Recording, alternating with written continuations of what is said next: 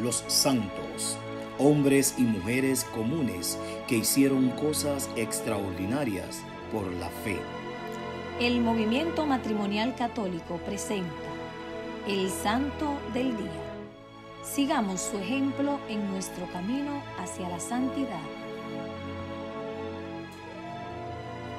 Día 15 de febrero. Hoy reseñamos la vida de San Claudio de la Colombière. Claudio nació cerca de Lyon, en Francia, en el año 1641. De familia muy piadosa y acomodada.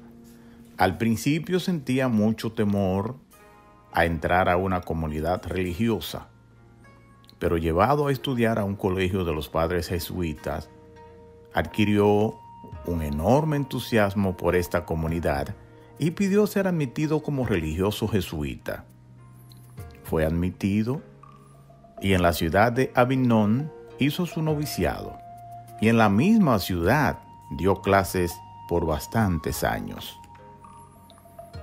El año en que fue declarado santo San Francisco de Sales, en el 1665, los superiores encomendaron a Claudio de la Colombière que hiciera el sermón del nuevo santo ante las religiosas salesas o de la visitación.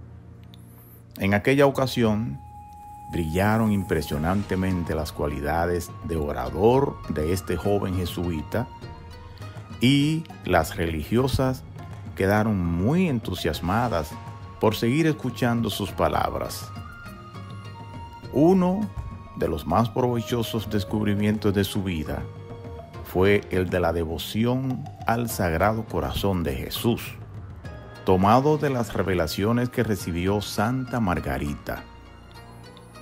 Cuando Claudio cumplió los 33 años, edad en que murió Cristo, se propuso después de hacer un mes de retiro espirituales, morir al mundo y a sus vanidades y dedicarse totalmente a la oración, a la vida interior, a la predicación y a la enseñanza del catecismo y a dirigir cuantas más almas pudiera por el camino de la santificación. En el año 1675, el padre Claudio fue nombrado superior del Colegio de los Jesuitas en Paris-le-Monial, la ciudad donde vivía Santa Margarita. Escribe así Santa Margarita. El padre Claudio vino a predicarnos un sermón y mientras él hablaba, oí en mi corazón que Jesucristo me decía, He ahí el sacerdote que te he enviado. Después del sermón, fui a confesarme con él y me trató como si ya estuviera enterado e informado de lo que me estaba sucediendo.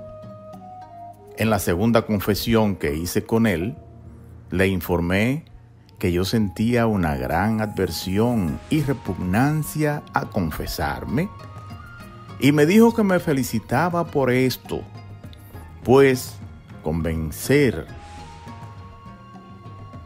la tal adversión podía cumplir aquel mandato de Jesús que dice, el que quiera seguirme, que se niegue a sí mismo este piadoso sacerdote me fue guiando con gran sabiduría y demostrando un gran respeto por mi alma.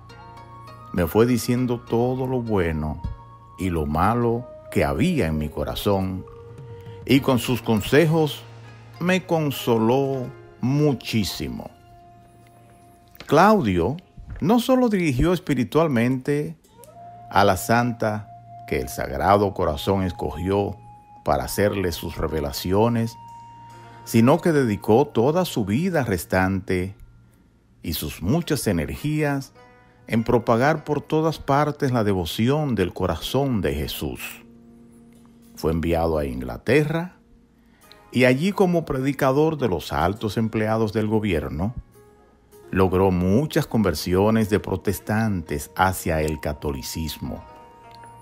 Su tema favorito era la devoción al Sagrado Corazón. Pero los protestantes, que eran muy poderosos en aquel país, le inventaron muchas clases de calumnias y obtuvieron que fuera puesto preso y condenado a muerte. Solo la intervención del rey Luis XIV de Francia logró que no lo mataran.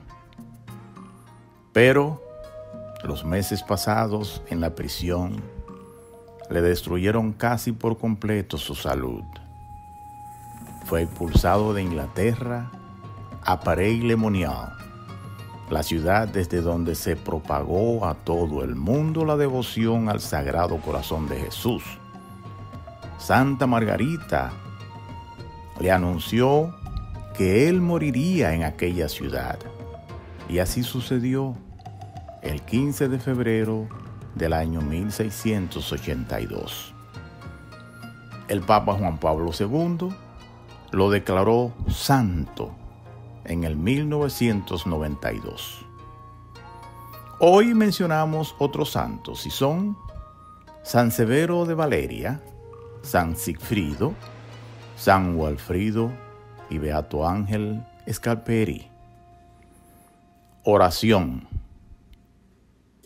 Señor, por intercesión de Claudio de la Colombier, te pedimos nos aumente la confianza plena en ti y que con amor nos abandonemos a tu divina misericordia que es infinita y siempre nos abraza cuando más las necesitamos. Amén.